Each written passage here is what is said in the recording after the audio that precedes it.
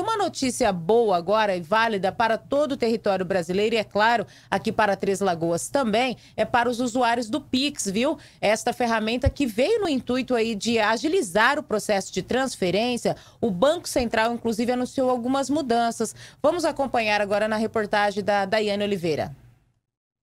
As mudanças estão previstas para acontecer a partir do dia 1 de abril e a partir do próximo mês será possível identificar um usuário ou não do Pix a partir somente do contato telefônico.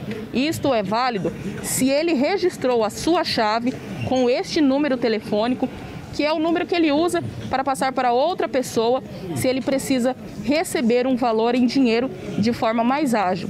A gente precisa lembrar que o Pix ele foi inaugurado o ano passado e ele é usado justamente para fornecer essa agilidade para transferir ou receber um valor em dinheiro. O gerente aqui do Banco do Brasil, o Anderson Carrara, ele falou mais a respeito deste e de outros detalhes. Vamos acompanhar. Atualmente você não consegue alterar. Uma vez cadastrado, para você mudar, você tem que excluir e cadastrar de novo. Por exemplo, para corrigir um nome, né? Então, é, a partir de 1 de abril, você não vai ser necessário fazer isso. Você ter, terá a opção de fazer a alteração. Né? Outra também importante é em relação à quantidade de relações de PIX. Então, o Banco Central é, vetou as instituições participantes do Pix de estabelecer quantidade né, de transações no Pix, tanto para enviar como para receber. Também mudança importante, né? Poderia é, colocar o número de quantidade, mas é, isso também foi vetado pelo Banco Central. Isso permite aí a gente poder movimentar nosso dinheiro livremente por quantas vezes é, forem necessárias.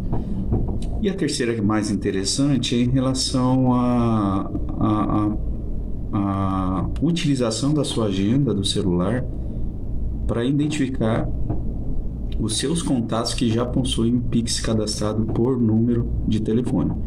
Então, é, foi permitido os aplicativos a fazerem essa, é, essa fusão com a agenda do celular, essa interação e a partir daí vai agilizar mais ainda a utilização do Pix, uma vez que provavelmente você vai ali é, puxar sua agenda de celular, você já vai saber as pessoas que têm o Pix cadastrado e a partir dali mesmo você vai poder iniciar uma transferência Pix, né?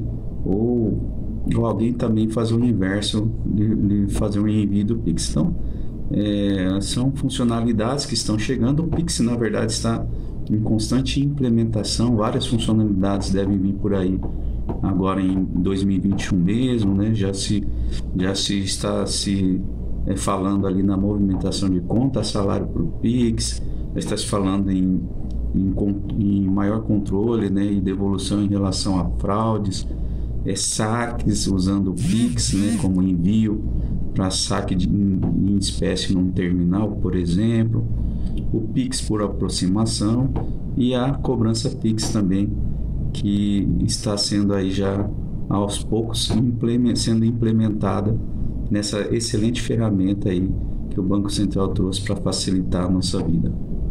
Está aí então a entrevista do gerente aqui do Banco do Brasil que falou com a nossa equipe, deu mais detalhes a respeito das mudanças que devem acontecer aí a partir do próximo mês.